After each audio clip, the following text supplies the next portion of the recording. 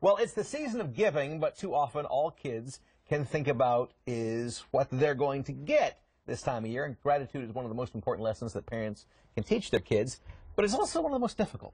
It is. A child care professional, Alise McGregor from Lil Newton's Nest, is here with some ideas maybe some activities that parents can use, not just during the holiday mm-hmm. season, but really when you think about it, it has to happen all year mm-hmm. long. Yeah, morning, Alise.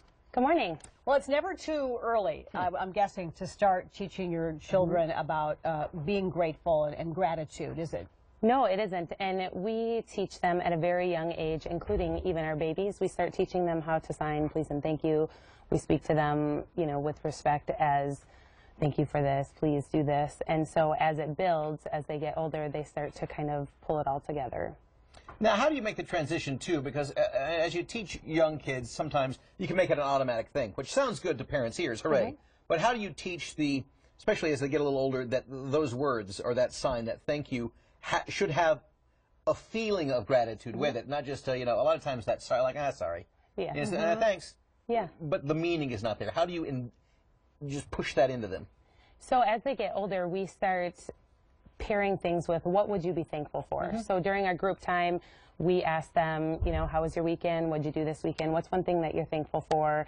And kind of keep reiterating what it means to be thankful. It's still a hard concept for very young children, mm-hmm. but we feel that modeling is one big way that children can, you know, start to grasp the concept. Right, when they see their parents mm-hmm. being grateful, and then. They can kind of understand that. So, are there things you can do at your home that can Mm-hmm. help facilitate them getting to that place where they understand what that feeling is and, and how to, you know, extend it? Yes, one great thing to do as we all have children that sit down with their lists and things that they want, and to pair that with something that they're thankful for. And this is more of a priceless gift, think, things that they can't buy. And it's a great tool to then open that discussion for being thankful, but also it's something you could save and look back at as years to come. And you also say that it's- it's important to, well, like with anything, I guess, as a kid, you got to practice and practice and practice these things. How do you do that? It's that constant reinforcement and modeling for children, and as they continue to grow, they will start to grasp and um, pull it all together. I would think being uh, this daily conversation, whether Mm-hmm. it's at the dinner table, you know, and talking about maybe the being grateful for the food that you have there. Mm-hmm. Some families do it by praying before they they eat. But if honestly, if if kids um, if they don't do this on a regular basis, they maybe it's understandable how they don't make that connection, and and especially if parents say, "Well, when I was a kid." I never had dot dot dot, and you just you know you lose kids at that Yeah. stage.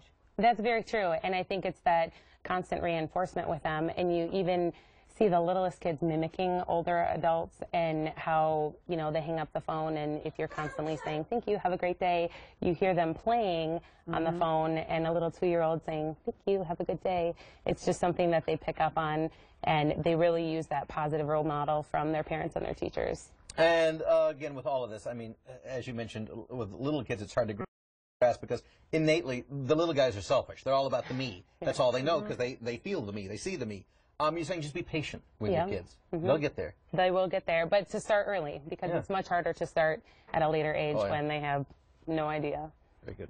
Well, Alise McGregor, thank you so much for joining Thank us you, this guys. morning. Appreciate Good conversation. All right, it is uh, 946 right now. For more information, you go to lns.com.